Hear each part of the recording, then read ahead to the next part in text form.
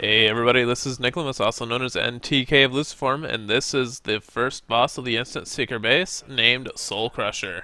This video is going to be a little bit different than previous strategy videos I've uploaded, as this game is a lot different than every other MMO that's out there. I will not be giving you exact damage numbers, as there's honestly no way for me to acquire them. The boss's mechanics are not as predictable in this game as they are in most MMOs either. That's what makes Tera so interesting and so much fun to actually play.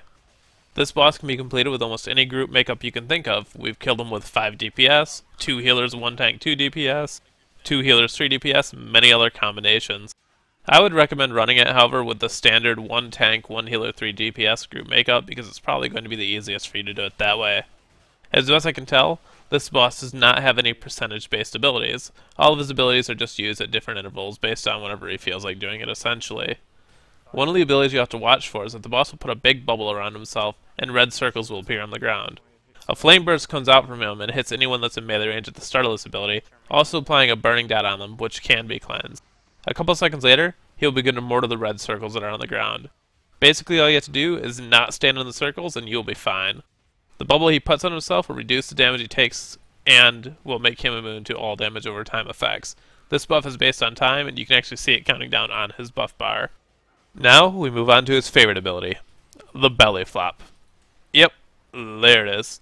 He uses this one all the time. A red circle will appear at the feet of the person he's going to flop on, and shortly after, down he goes. It's uh, kind of funny to watch. Sometimes he'll just sit there and flop around like a dead fish, like bang, bang, bang. Either way, yeah, all you have to do is just watch your feet, and if you have a red circle, just move and get out of the way, because you know he's coming to land on you. Another ability he frequently uses is he will just charge in one single direction, trampling over anything in his way. All you need to do is move out of the way, and you won't take any damage. He almost always goes in a straight line. Those are basically all the abilities the boss uses in this encounter. He does have a couple different types of melee swings and one knockback, but they're not really noticeable the majority of the time. Thank you for watching, everyone. If you haven't done so already, make sure to click that subscribe button as there's plenty more Tera videos on the way.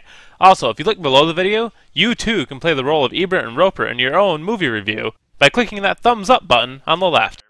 Thanks again for watching, everyone, and good luck.